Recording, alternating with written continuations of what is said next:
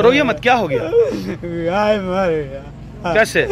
Line से भैया हाँ? लाइन से लाइन बिछाओ तार में गाय मर गया। ये रोता विलकता व्यक्ति यदुवंशी समाज का प्रमोद यादव है जिसकी दुधारू गाय की करंट की चपेट में आने से मौत हो गई है। ये छावनी क्षेत्र के वार्ड नंबर पाँच का बंगाली टोला है। जहाँ बीते तीन दिन के अंदर दो गौवंशीय पशुओं की बिजली की तार के चपेटे में आने से मौत हो गई है। एक 22 तारीख को धंधार पोखर के सामने स्थित बिजली तार से सटने से राजेश्वर यादव के भैंस की मौत हो गई थी। वहीं दूसरा 24 की देर शाम को प्रमोद यादव की दुधारू गाय की मौत हो गई है। पशुओं के सहारे जीविकोपार्जन करने वाले ग्वालों का रो रो कर बुरा हाल है।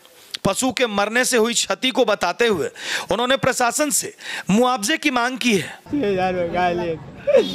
गाय तार भी जब खुले गाय खुला रोड में बिछावता था मर गया अस्सी हज़ार का गाय था।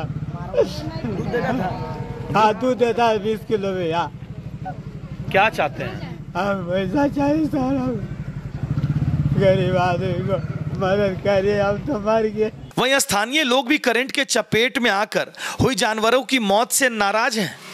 हालाँकि इस संदर्भ में विद्युत विभाग के कार्यपालक अभियंता देशराज जी ने सरकारी प्रावधान और प्रक्रिया के तहत मिलने वाले मुआवजा को देने की बात कही है। ये जो घटना घटा है ये बंगाली टोला डीसी राम के घर के आसपास का घटना है। यहाँ पे एक ग्वाला है उसका गाय घूमते घूमते यहाँ पे तार रखा हुआ है।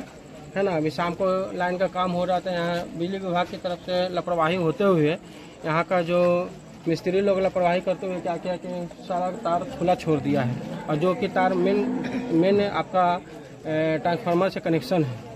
जिसकी वजह से गाय आई और हल्का सटी उसमें करंट लगा, गाय वहीं पे मर गई। तो अभी दो दिन पहले की घटना है।